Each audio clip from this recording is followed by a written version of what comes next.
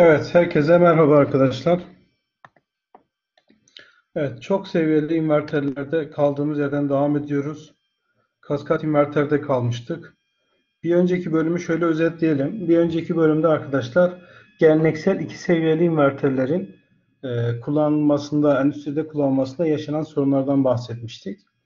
E, onları kısaca hemen bir özetleyelim. E, en büyük sıkıntı neydi? İki seviyeli inverterde arkadaşlar e, kaliteli bir çıkış almak istiyorsanız, kaliteli bir çıkış almak istiyorsanız PWM teknikleriyle birlikte yüksek anahtarlama frekansı kullanmamız gerekiyordu. Ama anahtarların işte yüksek anahtarlama frekansındaki kayıpları, e, hatırla, e, anahtarlama ve iletim kayıplarını konuşmuştuk.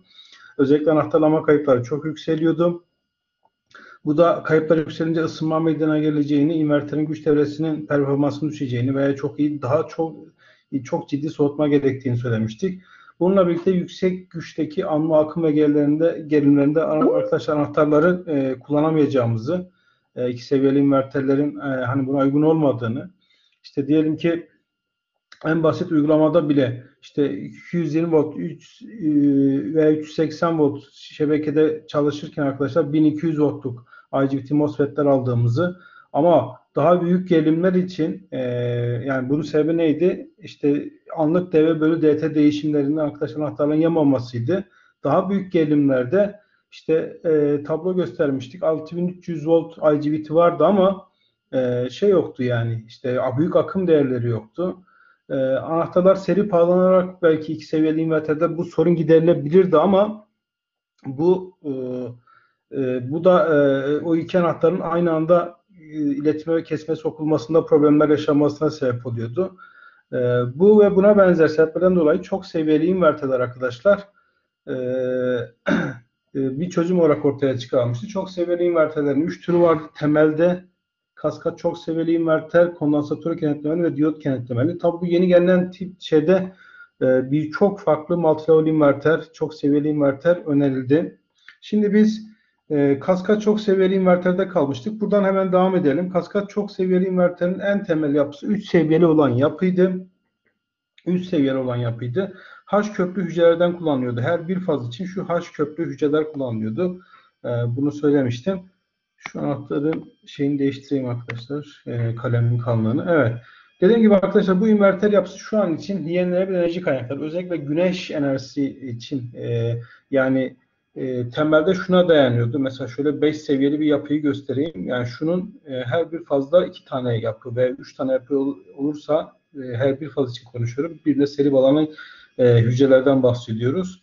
Mesela şunun gibi bu bir 5 seviyeli bir fazlı yapı. İşte bunun bir tanesi daha olsa 7 seviyeli yapı olacak. Ee, arkadaşlar buradaki her bir haş işte DC kaynak için e, yenilenebilir enerji kaynakları, PV paneller kullanılıyor büyük güçlü motor sürücülerinde kullanılabildiğini söylemiştim.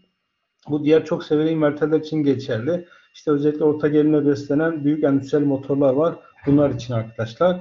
E, iletim ve dağıtım sistemlerinde kompansasyon, statik senkron kompansatör için çok e, böyle uygun bir yapı bu. E, high voltage DC sistemleri için yine öyle. Evet, e, bu kaskat inverterin e, avantajı, en büyük avantajlarından bir tanesi şu. E, diğer iki yapıdaki kenetleme diyotları ve kenetleme kondansatörleri var. Gerilimi paylaşmak ve bölmek için.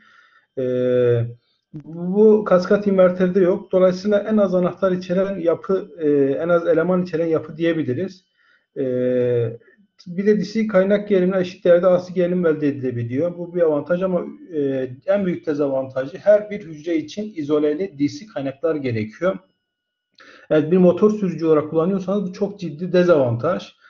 E, ama bir statik senkron kompansatörde bu çok büyük bir avantaja dönüyor arkadaşlar. Oraya kaynak kullanmıyorsunuz. O DC kaynaklar yerine kondansatörlere bağlıyorsunuz. Onları şebekeden şarj edip e, Statcom çalıştırabiliyorsunuz. Bu mümkün ve Statcom için çok e, bu yapı çok uygun yani.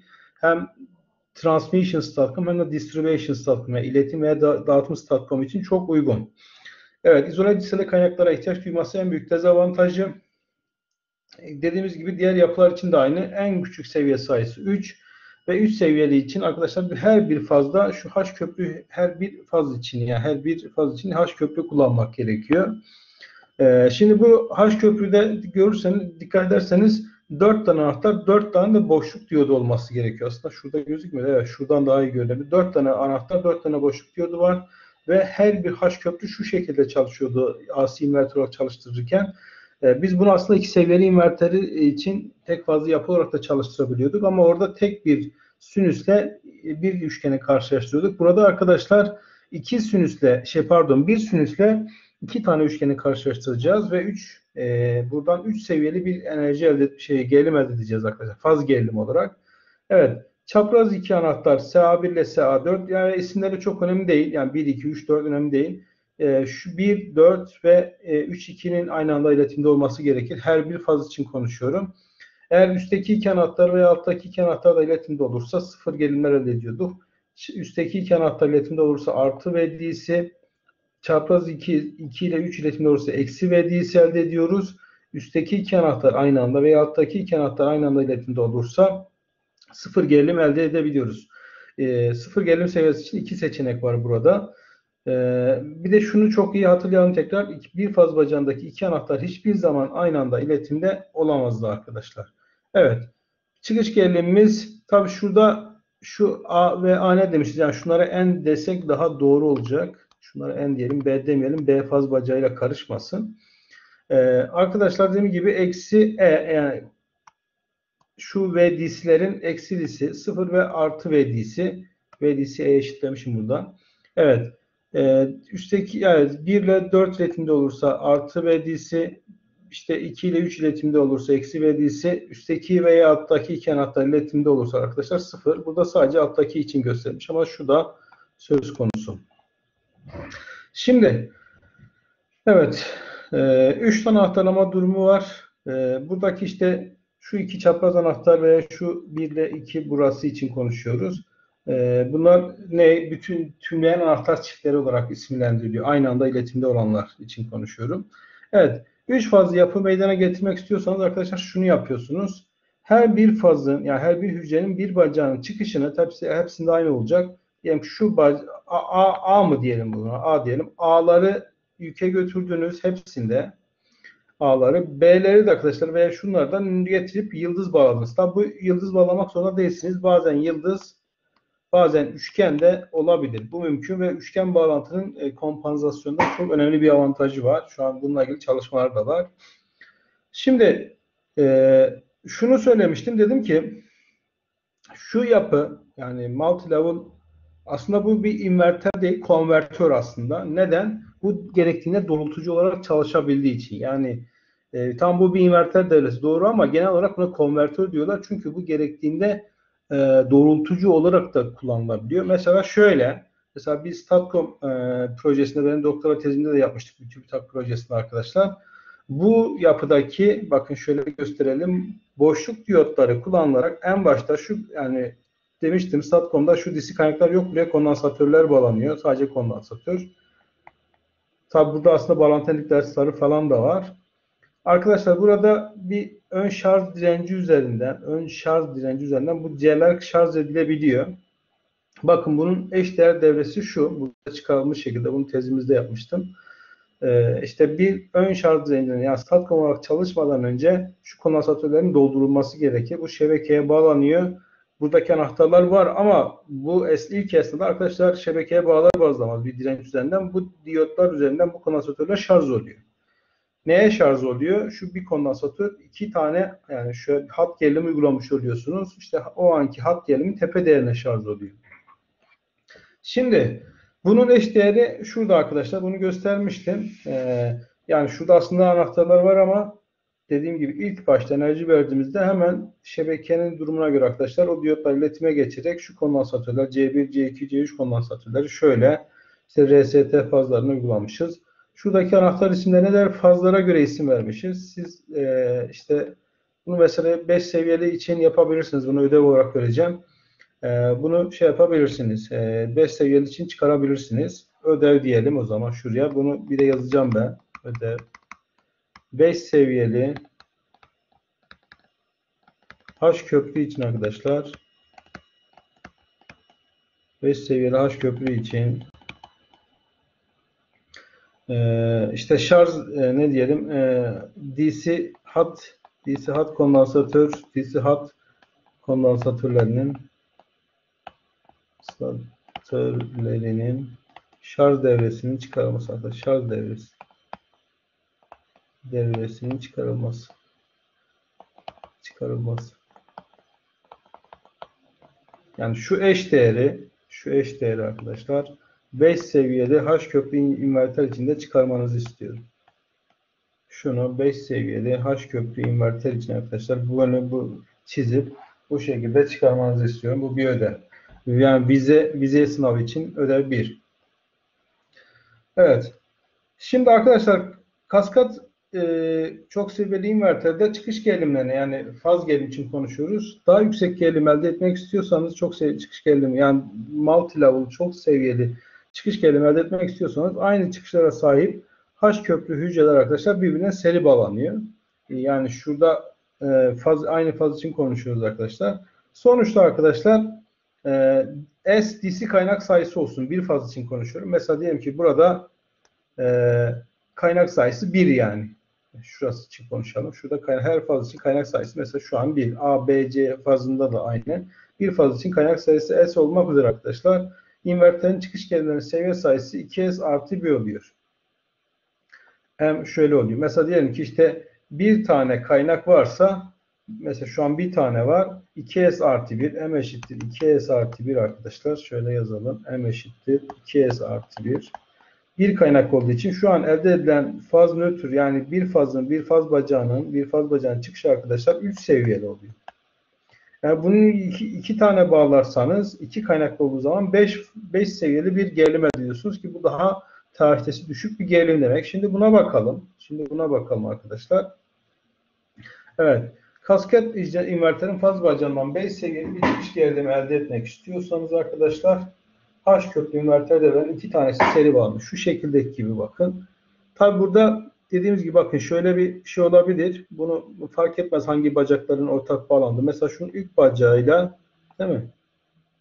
İkincinin birinci bacağı bağlanmış. Sıkıntı değil. Yani hangisini bağladığınız çok önemli değil. Önemli olan iki tane seri bağlamanız. Üçüncüyü de arkadaşlar şey yapmanız. Yani üçüncü ve dördüncüyü de yani şunları çıkış almanız. Şu an işte yük bağlanacaksa eğer diyelim ki şuraya bir yük bağladınız. işte bir RL yükü bağlayabilirsiniz. Bu bir tek fazlı 5 seviyeli 5 seviyeli arkadaşlar. Tek fazlı bir yapım yani. Şimdi arkadaşlar bu durumda tabi şöyle bir tabülasyona tabuda göstereceğim arkadaşlar. 5 ee, seviyeli devrede 16 tane değişik anahtarlama durum var. Artık bakın 8 tane anahtar var. 8 tane anahtar var toplam. Tabi bunlar RGB olduğu gibi MOSFET de olabilir. Şimdi şuna bakalım hangi anahtarlar devre olduğunda hangi çıkış gerilimleri yani veya işte e, kaç tane gerilim seviyesi oluşabiliyormuş.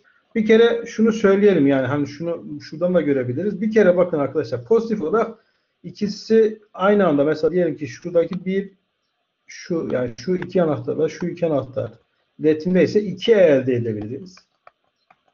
E elde edebiliriz. Tabi bunlar pozitif değerler. Sıfır vardır kesinlikle arkadaşlar eksi e vardır ve eksi 2e vardır arkadaşlar. Seçenekler bu. Yani e, gerilim seviyelerinde biraz işte dengeli olması lazım. Biraz sonra mesela bir asimetrik yapı göstereceğim. Biri E iken diğeri 2E da olabilir. Evet. 5 seviyeli yapı bu arkadaşlar. Bir fazlı 5 seviyeli e, yapı şu. Dikkat ederseniz mesela şurada dikkat edelim. E, işte hangisiydi? Her ikisi de E, E1 de E, E2 de E arkadaşlar. Evet. İnverter gelin bakın şurada şöyle nasıl gösterebilirim? Bakın 2E'yi elde etmek için bir tane anahtarlama durumu var. O zaman 1, 4 ve ikinci hücre de 5, 8 iletimde olmalıymış. Bakın 1, 1, 4, 5, 8. Tamam Eğer bu ikisi aynı anda iletimde olursa 2E'lik bir gerilim elde edilmiş. Yani E1 artı E2 ya 2E. Tam tersi şöyle işte 3 2 değil mi? Bakın 3 2 ve 6 7 iletimde olursa 6 7 aynı anda iletimde olursa arkadaşlar eksi 2'lik bir gerilim elde ediyormuşuz. Mesela pozitif 2'ye için bir anahtarlama durumu, eksi 2'li için bir anahtarlama durumu var. Ama mesela E değerleri için bakın şu E1, E1, E2, E2 bunlar hepsi E değil mi? Bakın şurada 4 tane anahtarlama durumu var. Eksi E'ler için 4 tane anahtarlama durumu var. 0 için 2, 4, 6 tane anahtarlama durumu var arkadaşlar. Tabi bu E ve 2E gerilimleri arkadaşlar şey pardon 0 E değerlerindeki bu aslında buna redundancy diyorlar. Yani e, aslında kontrol serbestliği de meydana getiriyor. Bu, bu işte sıfır durumları 6 tane ve 4 tane de eksi E, 4 tane pozitif E anahtarlama durumu arkadaşlar nerede kullanılıyor? Yani fazla olunca ne oluyor? Zarar değil. E, bu işte çok seviyeli artık bir fazla çok böyle 5, 7, 9 seviyeli genellikle tek seviyeler bunlar. Kullanınca gerilim dengesizliği meydana geliyor. Özellikle mesela diyelim ki işte kondansatör koyup şarj etmeniz gereken durumlarda e, işte bunları dengelemek için kullanılıyor. E, böyle anahtarlama modülasyon tekniklerinde bunlar e, şey yapılarak arkadaşlar tabii kontrolörle birlikte işte mesela StatCom'da yapılıyor. Biliyorum high voltage diste de var. Ee, işte vektör kontrol algoritması gibi e, PQ kontrol algoritmaları var arkadaşlar.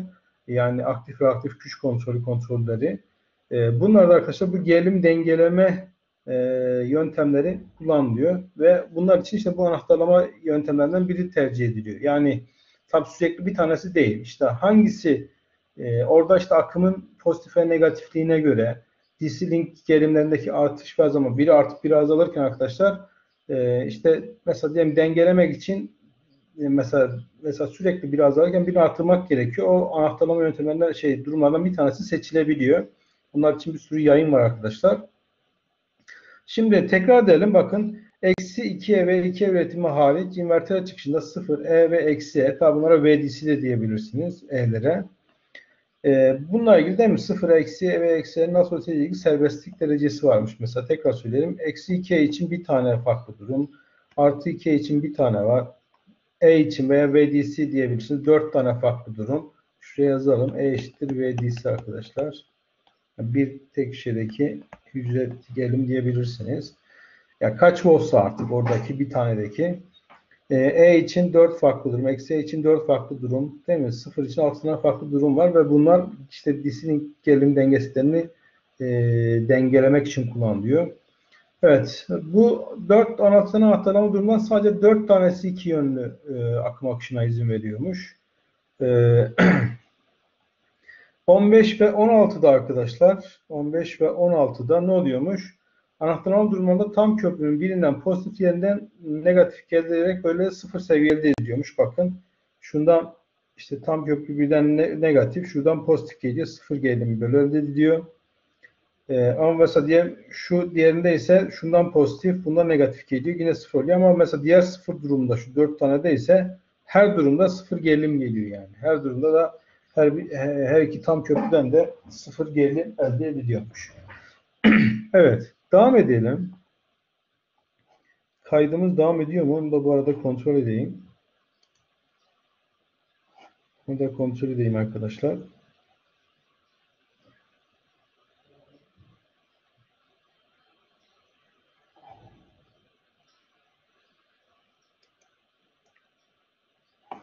Evet, devam ediyormuş.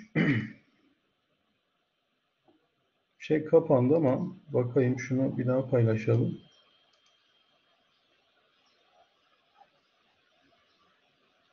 Hmm, nereden paylaşıyorduk? Şuradan galiba.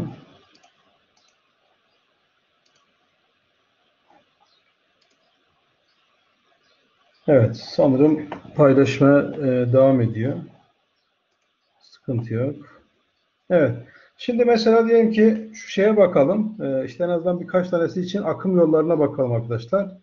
Anahtarlama durumlarına göre yük akım yollarına bakalım. İşte mesela diyelim ki 2 elik bir çıkış gerilimi için işte S1, S4 mesela yani isimleri çok önemli değil. Üstteki iki çapraz anahtar, alt, alttaki hücre içinde iki çapraz anahtar iletimdeydi. O zaman ne oluyormuş? İşte diyelim ki işte şu mesela kaynağın diyelim ki şurasından pardon şunu biraz daha aşağı alayım. Şuradan arkadaşlar S1'den geçip A çıkışını oluşturuyormuş. Ve kaynağın eksinden de arkadaşlar anahtarlama yaptığınızda tabii bunlara PWM sinyali uygulamak zorundasınız. S1'e, S4'e, S5'e ve S8 arkadaşlar. İşte e, pardon bunun evet bakın şu an bunun boşluk diyodu kullanılıyor arkadaşlar. Boşluk diyodu kullanılıyor şu an. Aynısı için şurayı da konuşalım. Bakın şunun S5'ten geçip aynen şurayı oluşturduğu gibi aynı arkadaşlar. Şurada ise şunun arkadaşlar boşluk diyodu çalışıyor. Şu an ters yönde geçemez. Şöyle bir çıkış. Sonra bu ikisini birleştirdiğimizde bir çıkış elde edilmiş oluyor. Mesela eksi 2'ye için şu iki çapraz anahtarla değil mi? Şu iki çapraz anahtarın netinde olması lazım. Yani S3, S2, S7, S6. Mesela bakın bu durumda da ne oluyormuş? İşte diyelim ki E'den şunu biraz daha aşağı alayım. Burada bir ölü bölge var arkadaşlar. S3'ten evet S3 netine geçiyormuş. Aynısı şunun gibi şu S7 arkadaşlar anahtardan geçiyor. Tabi bu A en çıkışını veriyormuş bir tek faz bacağı için. Şunu da şöyle gösterelim. Şuradan gelip boşluk yolundan geçiyor arkadaşlar. Şu A'yı veriyor. Şu da aynı böyle. Boşluk yolundan geçip şurayı veriyor. Ve şu an ikisi birleşiyor arkadaşlar. Bu şekilde 2, 3, 6, 7 anahtarlar olursa eksi 2'ymiş. Mesela başka neyi örnek vermiş? E'lerden iki taneyi göstermiş. İşte 1, 4, 1, 4 ve şu alttaki yanlar. Şuradan 1, 4 olunca şuradan E geliyor. Şuradaki iki anahtar iletimi olunca buradan 0 geliyor arkadaşlar. E artı 0, E gerilim elde ediyormuşuz. Şurada da bunun tam tersi. Şurası 0. Şu, şu hücreden E geldiği için böyle bir gerilim elde edebiliyormuşuz. Böyle bir anahtarlama durum var. Hepsi 16 tane durum var. Biz şu an 4 taneye baktık. Ee, evet şu yine sıfır durumu için ne olacaktı? Sıfır durumu için ya her birinden sıfır gelecekti. İki seçenek vardı. Ya da birinden pozitif birinden negatif gelecek. Şu an mesela 1, 4 iletimde olunca şuradan E geliyor arkadaşlar. 7, 6 olunca eksi E geliyor ve toplam sıfır oluyor. Mesela burada da öyle. Şu eksi E olunca şuradan eksi E geliyor. Şuradan da E geliyor sıfır. Ama mesela diyelim ki şurada yani bu sıfır durumu. Tabi 6 tane vardı. Şu an 2 taneyi gördük. Ee, yani örnek olarak çizilmiş. Şurada ise eksiye var. Zaten şu şuradan şu hücreden eksiye geliyor. Şuradan sıfır geliyor. Toplam eksiye oluyor. Bu kez şu birinci şuradaki hücreden eksiye geliyor. Şurası sıfır. Toplam eksiyelik bir gerilim elde edilmiş oluyor. Böyle çizince. Tabi burada dediğim gibi yani mesela ne yazıyor? S1, S4, S6, S7 anahtar kullanmış duruma göre, akımın komutasyonuna göre bakın. Diyottan da akım geçmiş yani. Şöyle diyottan da akım geçmiş yani. Evet. Şöyle diyottan da akım geçtiğini görüyorsunuz arkadaşlar. Şimdi tabi bu çok seviyeli inverterler mesela bu son yıllarda çok çeşitli e, kaskat inverterlerle ilgili çalışmalar da var farklı farklı. Şöyle her bir H köprü işte VDC kaynakla beslendiği gibi biri E, biri E, 2E ile beslendiği durum da oluyor. Yani öyle çalışmalar da var. Tabi bu aşağıdaki her zaman 2 olacağı anlamına gelmiyor. Bazen yukarıdaki 2E, aşağıdaki E olabilir. Fark etmez. Yani bir tanesi E, bir tanesi 2E olacak. Buna asimetrik diyoruz yani. Şu her iki her bir hücre, her bir hücre E ile gerilimle beslenirse bu simetrik bir çok seviyeli inverter. Ee, biri biri farklı 2E ile beslenirse bu asimetrik yapı arkadaşlar. Bu asimetrik yapı avantajı ne? Ee, şöyle e, işte her bir H köprü farklı değerde izoleli, tabi bunlar hepsi izoleli dizi kaynak olacak. Özellikle motor sürücü olarak çalıştırıyorsanız. Evet arkadaşlar bunun şeyi H köprü sayısını arttırmadan e, gerilim seviyesinin değiştirilmesini, arttırmasını sağlıyor. Mesela bu ikiye olunca mesela şuradan e, bir fazla 5 seviyeli bir gerilim elde ediyorken mesela ne elde ediyorduk? Onu yazalım şuraya. Biraz aşağı alayım. Mesela 5 seviyeli çıkış ne şurada? İşte arkadaşlar 2E vardı. Artı E vardı. Bunlara E artı diyelim. 0 vardı. Eksi E vardı. Eksi 2E var. Tamam. Bu 5 seviyeli. Ama şurada şöyle bir seçenek var. Ne var? 2E artı E, 3E var. Yani 3E de var. 2E de var. E de var. Tabi bu artı olanlar. 0 da var arkadaşlar. Eksi E var eksi 2e var, eksi 3e var. Doğru mu? eksi 3 tane eksi 3 tane şey negatif 6 bir de 0 7 7 seviyeli elde ediyorsunuz. Tamam mı? 7 seviyeli bir gerilim. Tabi ana harmoniyi de daha yüksek oluyor yani onu söyleyelim yani. Ee, kesinlikle buna göre ama bir dezavantaj var. Bu kez yani H köprü üzerinden bir avantajı modüler olmasıydı. Yani işte her bir H köprünün modüler olmasıydı. Böyle iki ile asimetrik yapı yaptığınızda bazı durumlarda avantaj sağlıyor ama ne yapıyorsunuz? Modülerlik ortadan kalkıyor yani. Ve anahtarlardaki e, gerilim düşümleri değişebiliyor. Yani mesela diyelim ki tabi her o zaman 2E ile E'deki hücrelerdeki anahtarlar aynı amma değerlerinde olamıyor maalesef. İşte şunda e, diyelim ki 400 olsa anahtarı ona göre seçiyorsun. İşte 1000 volt. Ama burada 800 volt olunca anahtarı 1600 belki 2000 voltluk bir anahtar. Yani 2000 yani o değerlerde daha yüksek değerlerde e, değerli anahtarlar kullanıyorsun. Dolayısıyla modülerlik ortadan kalkmış oluyor. Ama bununla ilgili çalışmalar var tabi. Şimdi 5 seviyeli 3 fazlı yapı elde etmek istiyorsanız ne yapıyorsunuz?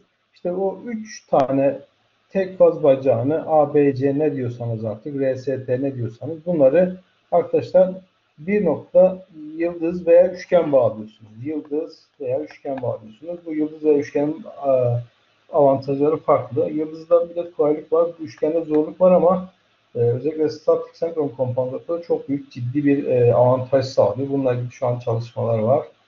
E, şimdi evet kaskat çok seviyeli inverterin avantajları neler arkadaşlar? Bir kere her bir H köprü devrede aynı yapıda olduğunda işte bu en büyük modülerlik avantajıydı arkadaşlar. E, dizaynı yani toplam tek bir e, kaskat inverteri e, yani 5 seviyeli şunun gibi düşünün. Bir paket yapmak, bir modül haline getirmek, böyle bir raylı hani böyle raylı dolap çekmecesi gibi rak raflara oturtmak çok kolay. İşte böyle mesela diyelim bir H köprü arızalandığında diyelim ki başka diyot veya kaskat invertörde olsa bütün yapıyı durdurmak zorundasınız. Hemen böyle modern hücre şeklinde yapıp yani arızalandı onu söküp diğerini takabilirsiniz raylı sistem olarak ve bu e, piyasada da böyle şu an çalışmalar var. Gerçekten endüstride de karşılığı var şu an. E, mesela şu an e, e, TÜRKTAK'ın yaptığı çalışmalar da böyle bu Statcom'daki e, yani modüler bir şekilde yapmışlardı ve şu an Türkiye'deki şirketler de yapıyor statik senkron kompansatörler için e, TÜRKTAK'tan ayrılan. En büyük hali arkadaşlar dizaynı ve paketlemesi kolay bir modül haline getiriliyor. Evet, faz çıkışın gelimi bütün haş köprülerinin bir faz için konuşuyoruz. Her, her bir haş köprünün toplamı olduğundan e, gerilim seviyeleri için birden çok anahtarlama kombinasyonu var. İşte bu D-Sync'teki gerilim emniyetliklerini de falan çözmek için kullanılıyor. E, kenetleme diyotları ve kenetleme kondansatörleri gerektirmediğinden az sayıda eleman kullanılıyor. Diğerleri, diğer konvertör türlerine nazaran. Ee, bir de bu DC kaynaklar izoleli olduğu için elektrik çarpma riski de azalıyor arkadaşlar.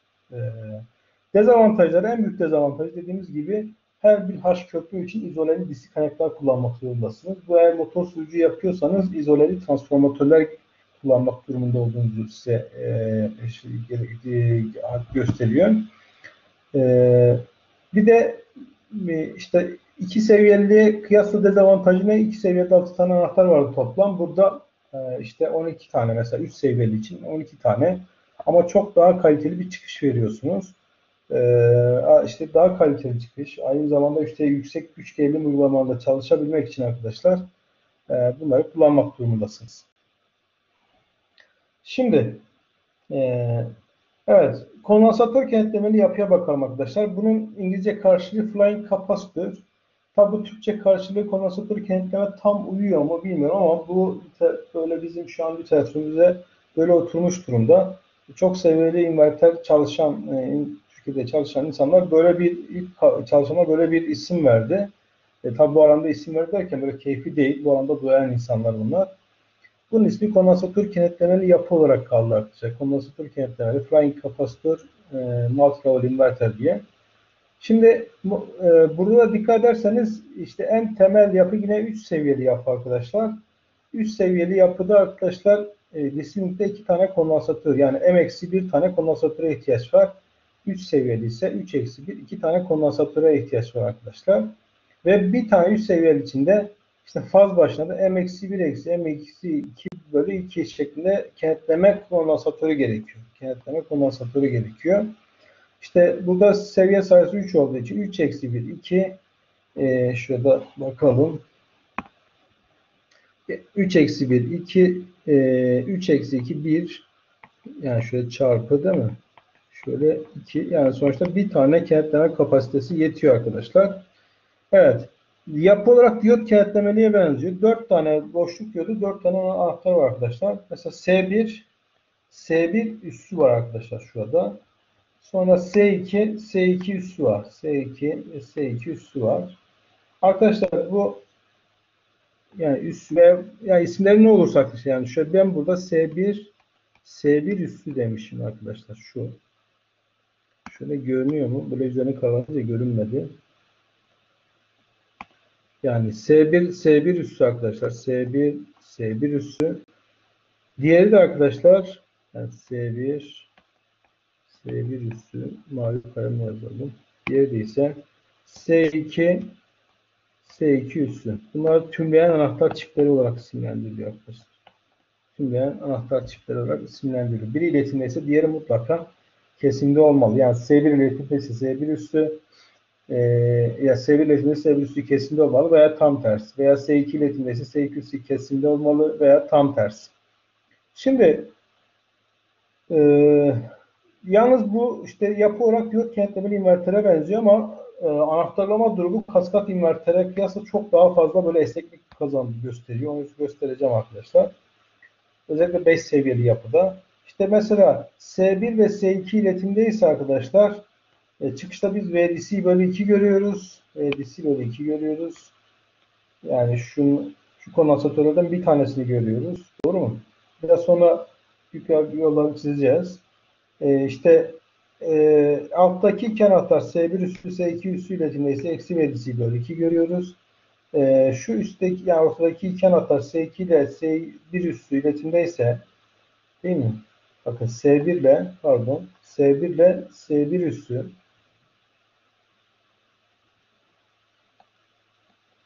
veya S2 ile S2 üssü iletimdeyse arkadaşlar sıfır çıkış gerilim seviyesi elde ediyormuşuz. Evet. E, kenetleme kondansatörleri yani şundan bahsediyorum. Gerilimin dengelenmesine yardımcı oluyormuş anahtarlar üzerindeki. Şimdi e, başka bakalım arkadaşlar. Dediğimiz gibi 3 seviyeli bir gerilim var. VDC bölü 2 0 eksi VDC bölü 2. İşte VDC bölü 2 seviyesi için S1 S2 iletimde olacak. Üstteki eksi VDC bölü 2 için alttaki e, 0 gerilim seviyesi için S1 S1 üssü S2 S2 üssü iletimde olabiliyor arkadaşlar. Şimdi yalnız şurada şeyi söyledim. Ee, S1 ve S1 bunlar anahtar, çiftleyen anahtar türleri birleşmişse diğeri kesimde olmalı falan. Ee, bu onun için geçerli değilmiş arkadaşlar. Pardon özür dilerim. Bu, bu bunun için geçerli değil. Yani bunlar tamam çiftleyen anahtar türleri ama biri iletmişse diğeri kesimde olacak değilmiş yani özür dilerim. Yanlış hatırlıyorum. Diyot krampta öyle bir şey olabilirdi. Ee, neyse veya Ha tamam burada şöyle bir durum vardı arkadaşlar.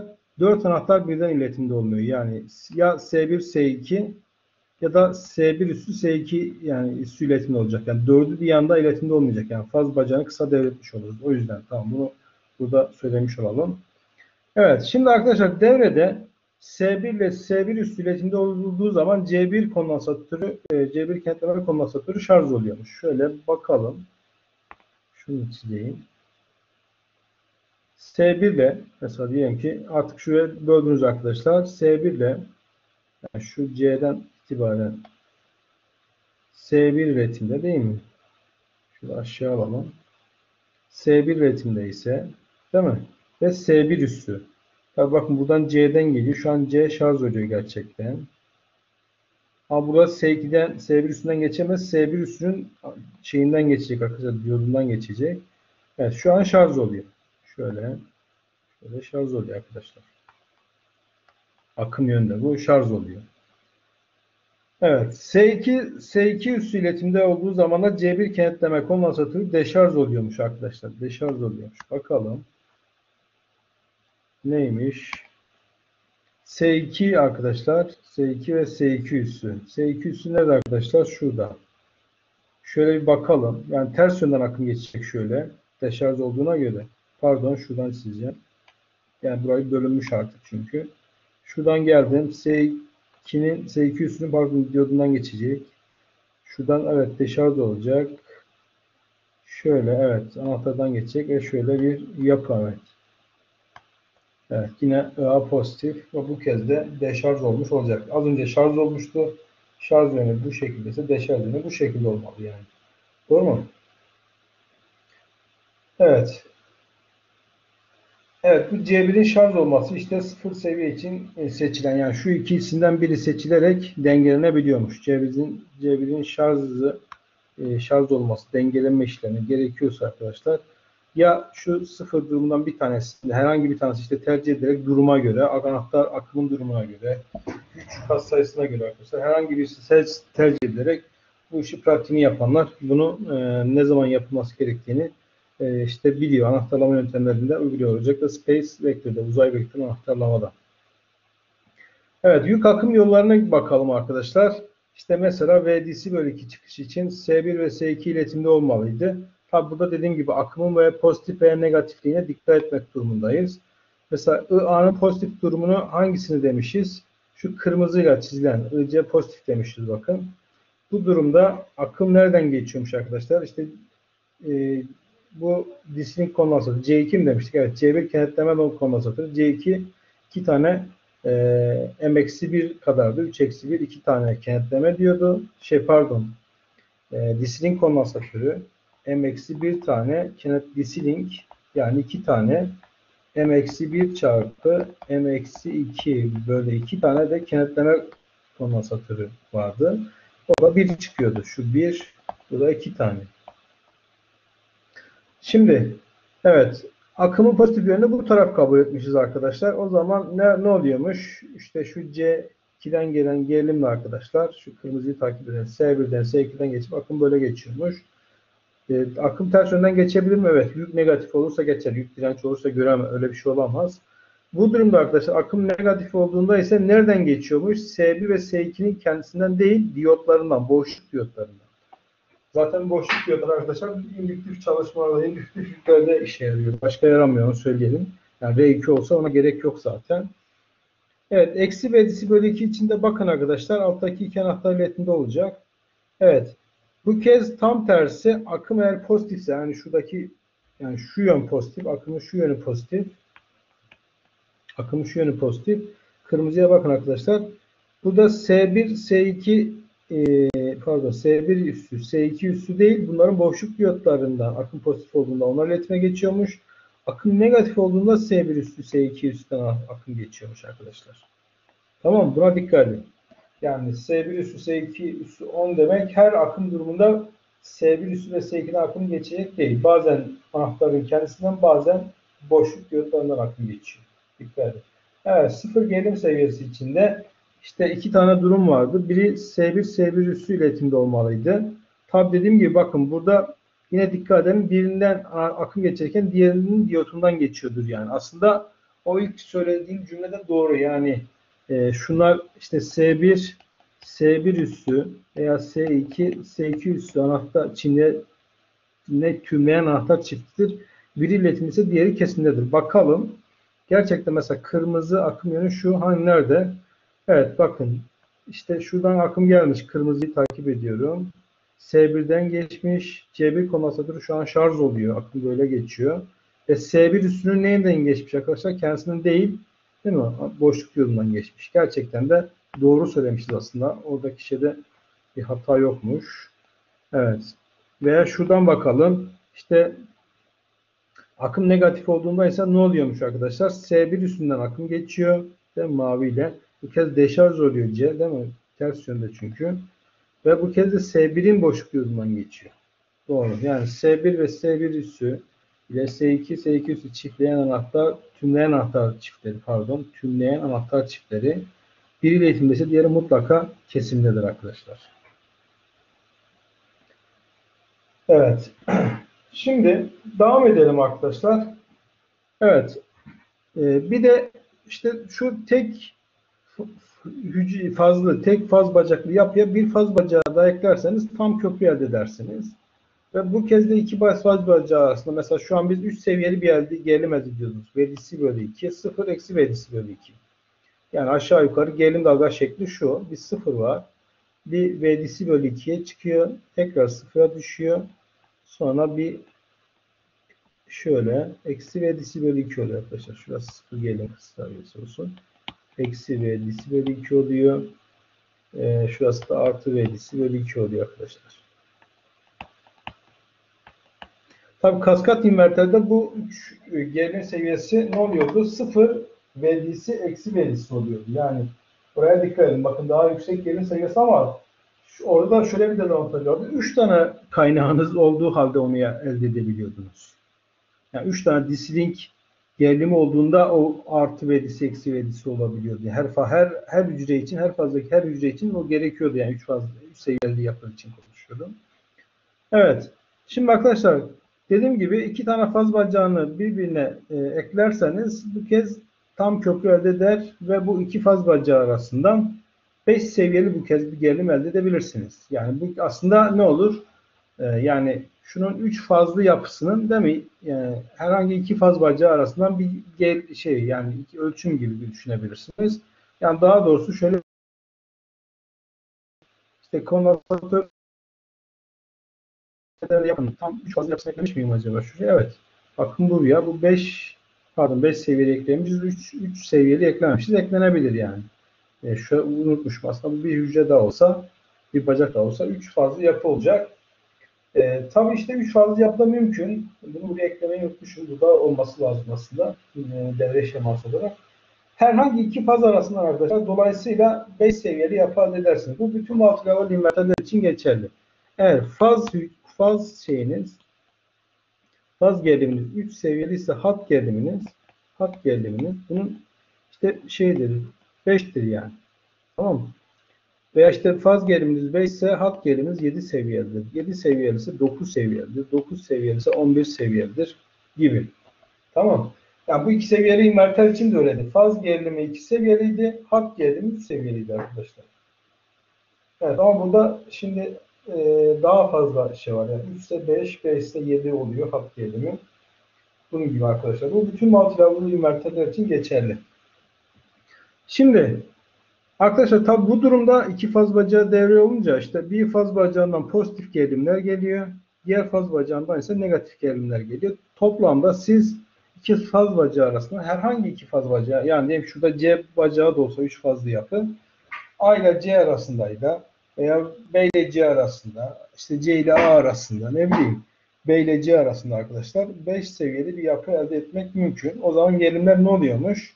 İşte ee, yani VDC normalde 3 seviye tek bir faz bacağından biz VDC bölü 2 eksi VDC bölü 2 sıfır elde ediyorduk. Şimdi ise ne oldu? VDC, VDC bölü 2 bunların negatifi eksi VDC, eksi VDC bölü 2 ve 0. Toplamda 5 seviyeli bir gerilim elde etmiş olduk. Hat gerilim olarak. Ve dikkat edin tabi artık 3 fazlı yapı olunca ben buna işte yani iki tane faz bacağı ve herhangi iki faz bacağı işte C de olsaydı aynı olacaktı. Artık mesela VDC bölü 2 elde etmek için birden fazla seçenek. 3 tane değil mi? 3 tane anahtarlama durumu oldu. 0 için 2 tane anahtarlama durumu vardı zaten. Negatif VDC bölü 2 için de 3 tane anahtarlama durum var. Bu işte aslında size kontrol esnekliği veriyor bize. Buna redundancy durumlar diyorlar. Yani yedek durumlar diyorlar. Ve işte bu dislink gerilim dengesi olduğu zaman anahtarlamada işte diyelim ki e, bir bir anahtarlama periyodunda şunu kullanırken diğerinde şunu kullanabiliyorsunuz. Veya ta, eksi verisi böyle iki için de öyle. Yani birinde birini kullanırken birinde birini kullanabiliyorsunuz. Tabi burada e, yükün akımının yönü de çok önemli. Pozitif, negatifliği, güç faktörünün durumu. Disilink kondansatörlerin gerilimleri eşit olması lazım. İşte toplam gerilim 200 olsa 100 volt 100 volt ama anahtarlamada diyelim ki biri 110'a giderken biri de işte 90'a düşüyor. Yani hani bu ikisini dengede tutmak için işte bu anahtarlama durumları böyle, e, böyle taşlarla oynanar gibi her periyotta böyle sürekli ölçülerek e, tabloda disinik kelimelerin değeri de önemli, yük akım durumu da önemli. Sürekli onlar arasında tercih yapılabiliyor yani. Tamam. E, böyle oyunmuş gibi gerçekten de öyle o gerilimleri dengede tutmak için.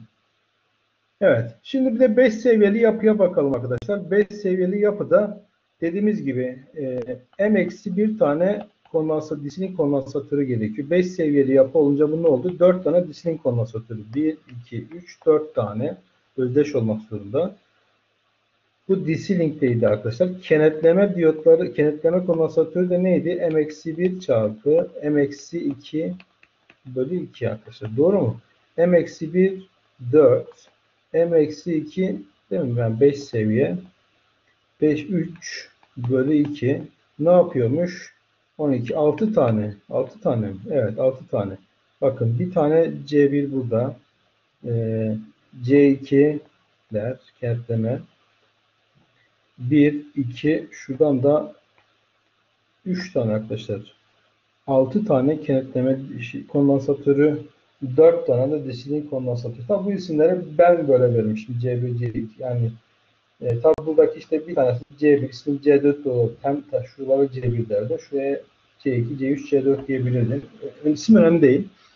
Dikkat edin diye 4 tane üstteki anahtar var. 4 tane bir de bunların tümleyeni var. S1, S1 üssü, S2, S2 üssü, S3, S3 üssü, S4, S4 üssü.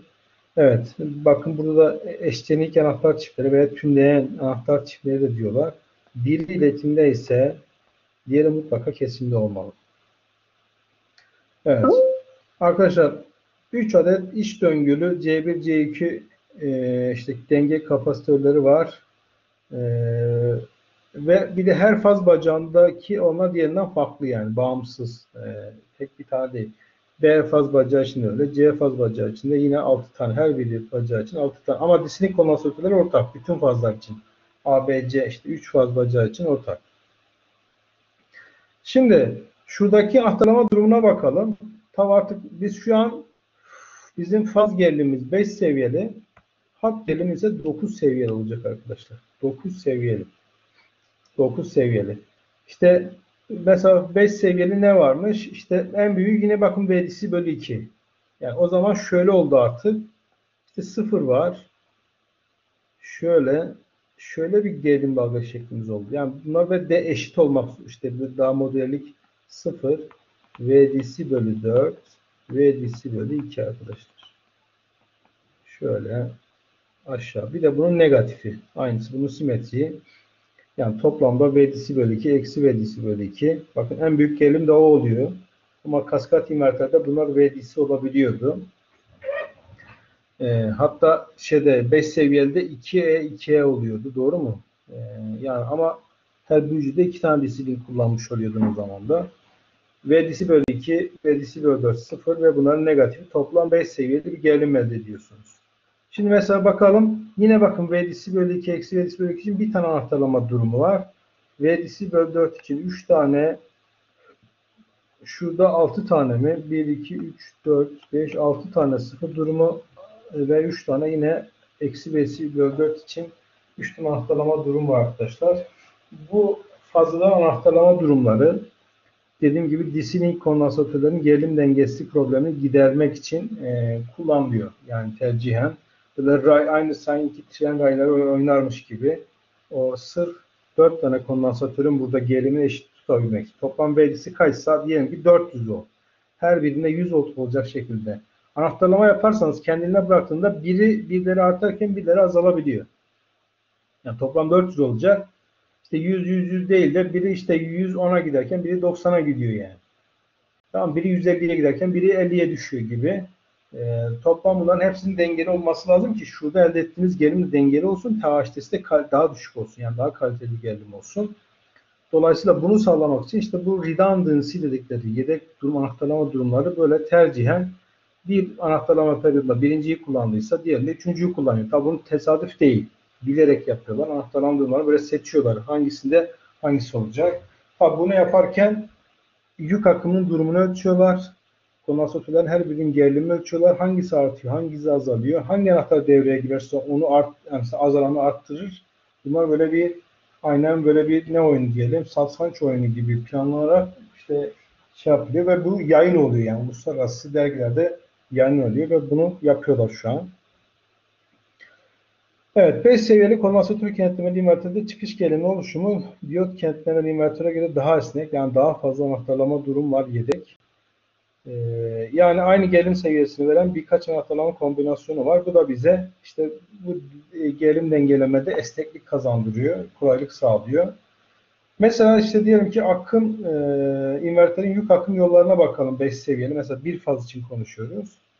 İşte eğer üstteki 3 anahtar iletimdeyse, işte 4 anahtar, 4, 8 anahtar oldu. Şeyde ise 3 seviyede 4 tane vardı. Şu an 2 kat oldu. Yani anahtar sayısı arttı. Tabi bunların bir de işte bu PWM sinyallerini ayrıca e, hangi işlemi yapıyorsak kompansasyon mu yapıyor, motor kontrolü mü yapıyor, bir de değil mi, vektör kontrolü veya ona tabanlı kontroller var. Mikro işlemcinin bunları çalıştırıp bu anahtarlara tetikleme sinyali üretmesi gerekir. İşte diyelim ki 5 seviyede 8 olduysa 7 seviyede bu daha fazla olacak ve gittikçe artacak bu anahtarlama karmaşık işte kontrol kontrol karmaşıklığı meydana geliyor.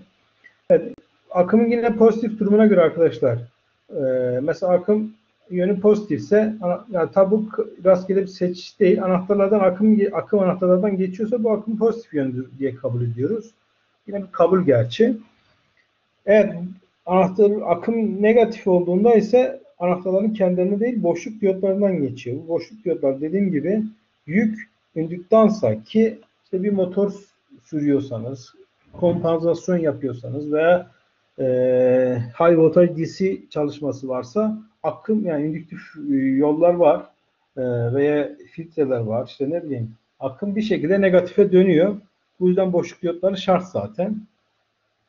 Ee, işte eksi ve disi bölü 2 için mesela pozitif, alttaki 4 tane anahtar yine akım pozitif durumuna göre burada akım pozitif olduğunda yani şu yönü pozitif seçmişiz ya akım pozitif olduğunda boşluk diyotları iletimdeymiş. Görüyoruz. Akım negatif olduğunda anahtarlardan iletim geçiyor. 3 seviyede de böyleydi bu durum. İşte mesela v disi bölü 4 eksi v disi 4 içinde işte ne lazımmış? Üstteki bir anahtar ve şuradaki tümleyen anahtardan bir tanesi yani S1 ile S1 üssü. Tabi o ikisi aynı anda iletimde olamaz. Mutlaka onun diyodundan geçiyordur. Bakın akım pozitifse 1, 2, 3'ten geçiyor. Gelip C1 kondansatörünü şarj ediyor. Doğru mu? Tabi o zaman C1 kondansatörü şu iki tane kondansatörün gelimine dolmuş oluyor. İşte şurası 100 100 ise burası 200'e dolmuş oluyor. Tabi onlar ona göre seçiliyor. Ve S1 üstünün arkadaşlar değil mi? E, boşluk yolundan geçiyor akım tamamı ve akım negatif olduğunda bu kez tam tersi S1'in anahtarından geçiyor. C1'i deşarj ediyor ve bu kez 1, 2, 3'ün boşluk yolundan geçiyor. Ee, mesela şurası içinde yine benzer şekilde e, neymiş? İşte 1 üst, eksi ve eksi için alttaki 3 anahtar alttaki 3 anahtar 1, 2, 3 üstü tabi 1 üstü, 2 üstü, 3 üstü ve üstteki bir anahtar. İşte akım negatif pozitif olduğunda S1'den geçiyormuş. S1'den geçiyor ama bu sefer C3'leri şarj ediyor. Değil mi?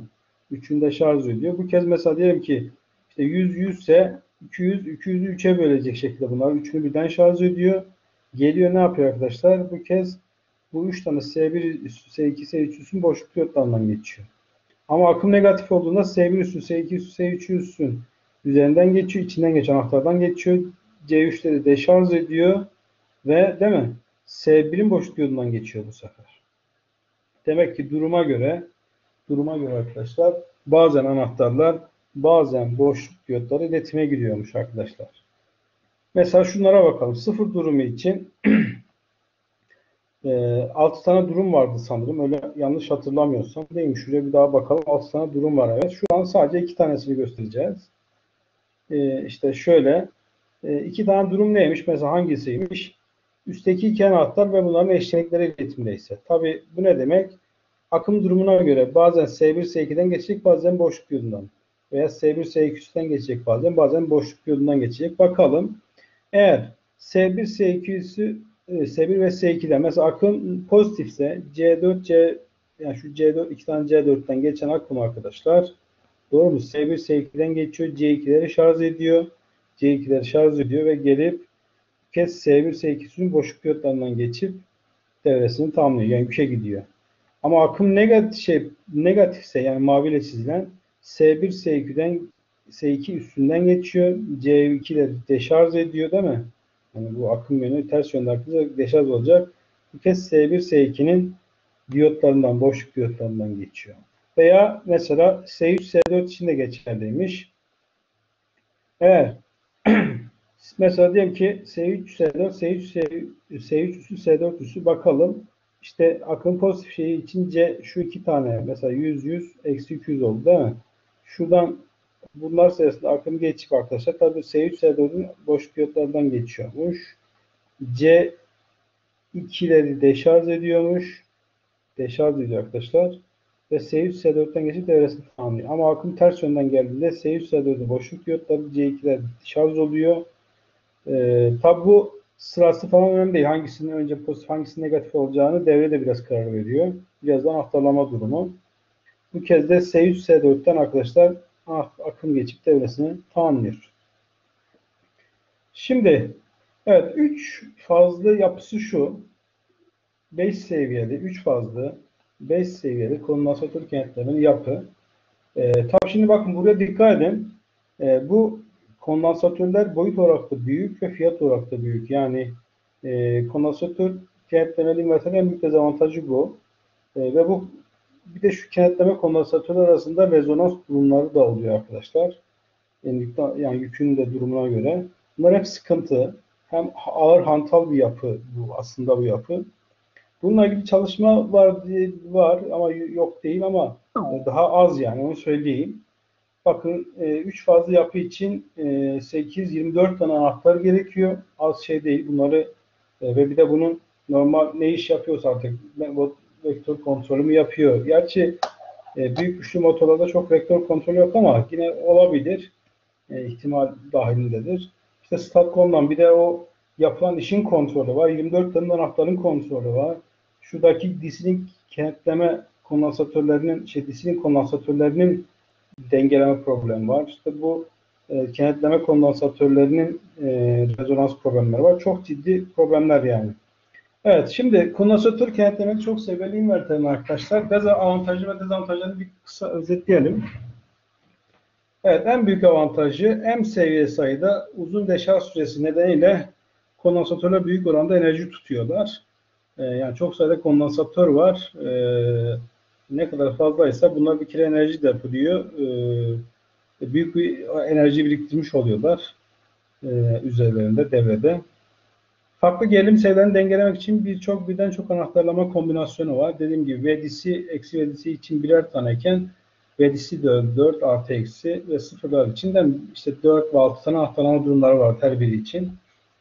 Ee, tabii seviye sayısı arttıkça bütün multilevel inverterler için geçer, geçerli. Çıkışta çok daha kaliteli bir gerilim elde ediyorsun. Bu da TH'de oranın düşük olduğu anlamına geliyor. Aktif ve reaktif güç akışı kontrol edebiliyor. Bu da önemli. Dezavantajı arkadaşlar. E, mesela bu aktif ve reaktif güç akış kontrolü StatCom için de çok önemli. Gerçi artık bütün inverterler için yapılabiliyor. Dezavantajları.